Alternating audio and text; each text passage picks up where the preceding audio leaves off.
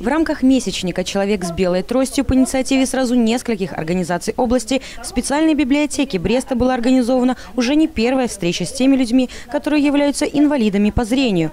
Таким людям в нашей области уделяется большое внимание. Пример тому – отданное по решению Брестского горосполкома помещение для специальной библиотеки, предназначенной для слепых. На этот раз в ее стенах собрались люди, которые являются постоянными читателями. Все они пришли с одной целью – ознакомиться ближе с биографией создателя системы письменности для незрячих Луи Брайлем. Месячники у нас проводятся ежегодно. Это такие мероприятия, которые очень серьезные мероприятия, привлечение внимания общественности к проблемам инвалидов по зрению.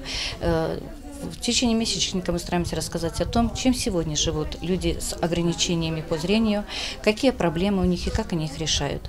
И вот данное мероприятие мы сегодня проводим тоже, вот я уже сказала, в рамках этого месячника, с той целью, чтобы немножко больше посвятить и осветить э, такую тему, рассказать о таком знаменитом человеке, как Луи Браль. Система письменности Брайля совершенствовалась им на протяжении более чем десятка лет. Много раз она отклонялась советом Парижского института слепых, но в конечном итоге ей все все же удалось начать победоносное шествие по всему миру.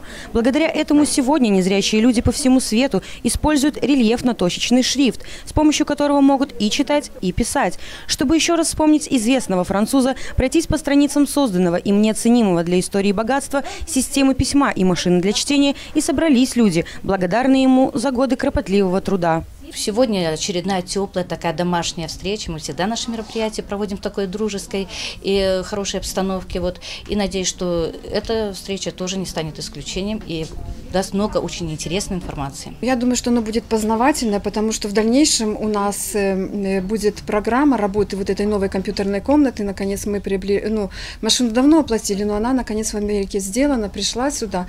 Мы напишем проект, с Нового года он будет работать, мы будем обучать работе на этой читающей машине, плюс обучать первые навыки на компьютере для слабовидящих и пожилых людей. Сегодня услугами специальной библиотеки, которая содержит и издания с рельефно-точечным шрифтом, и говорящие книги, и плоскую литературу, пользуются порядка 400 инвалидов по зрению. Многие из них по тем или иным причинам обслуживаются на дому.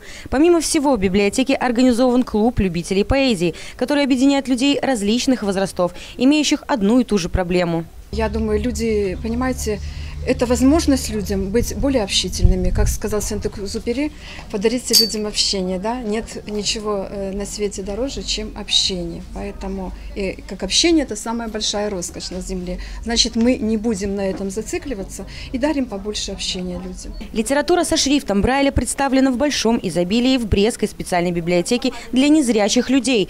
Именно сюда они могут прийти за книгами любых направлений – краеведческими, историческими, литературно-познавательными изданиями, журналами о здоровье и многом другом. И надо сказать, они с удовольствием это делают. Очередная встреча, прошедшая в рамках месячника «Человек с белой тростью», еще раз дала возможность людям, инвалидам по зрению, узнать больше об истории создания системы письма, которой они пользуются, а также обратиться к литературе.